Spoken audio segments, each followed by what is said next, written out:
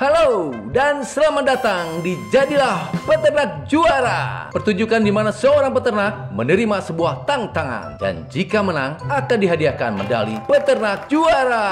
Hari ini kita bersama Pak Bang Bang, peternak babi dan tantangan yang harus ia hadapi adalah penyakit ASF. Penyakit ASF adalah penyakit yang dapat menginfeksi babi peliharaan dan babi hutan. Manusia tidak bisa terinfeksi. Jika babi terinfeksi, matilah dia. Penyakit ASF membuat bangkrut para peternak seluruh dunia. Namun, penyakit ini sangat bisa dicegah dengan hanya mengikuti beberapa langkah biosecurity sederhana ini. Yuk, kita perhatikan Pak Bambang yang sedang bekerja. Wah, oh, wah, coba perhatikan Waduh, jangan-jangan ini dia nih. Ah, bahaya nih. Ini dia nih. Aduh, tuh kan? Tuh kan? Wah, Walah, jangan dikasih makanan sisa rumah tangga, apalagi hotel, apalagi makanan sisa sampah. Buh, bahaya nih.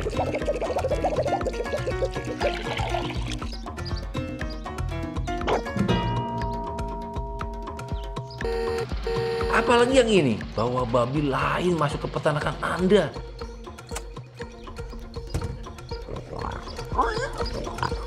Wah, kacau nih.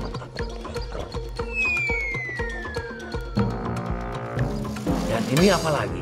Dia membiarkan babi hutan bebas berkeliaran mencari makan.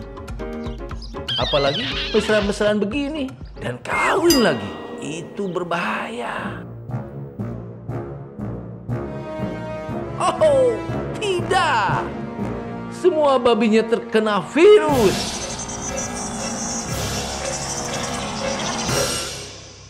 Mari kita hentikan semua ini dan bantu Pak Bang Bang agar dia dapat mencegah kejadian ini.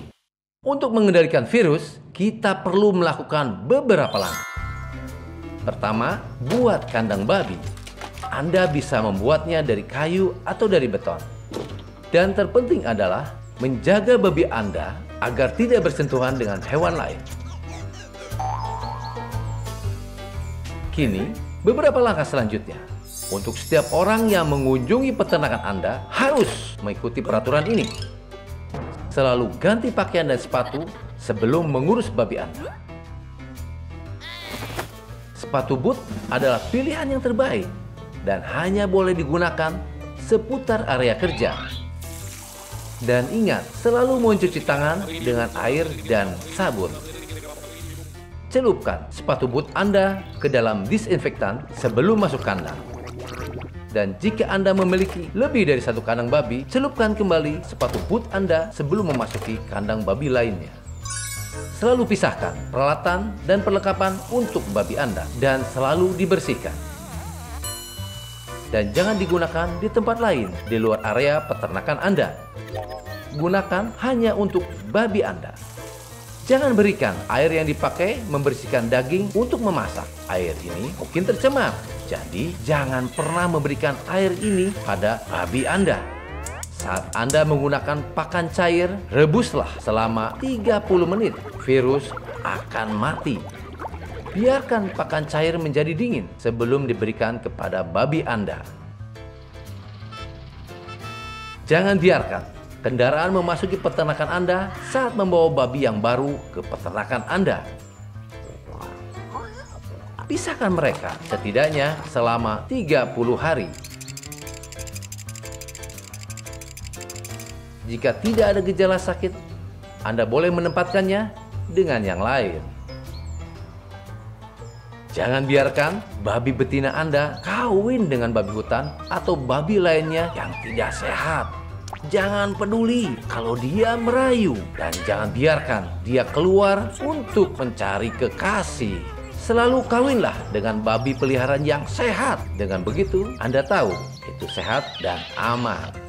Demikianlah, dengan mengikuti langkah-langkah sederhana ini, Anda dan Pak Bang Bang dapat menjaga peternakan terbebas dari penyakit ASF sebab tidak ada vaksin atau pengobatan untuk penyakit ini. Berbagi informasi tentang langkah-langkah biosecurity ini adalah sangat penting agar kalian semua bisa menjadi peternak juara dan jaga babi Anda agar terbebas dari penyakit ASF.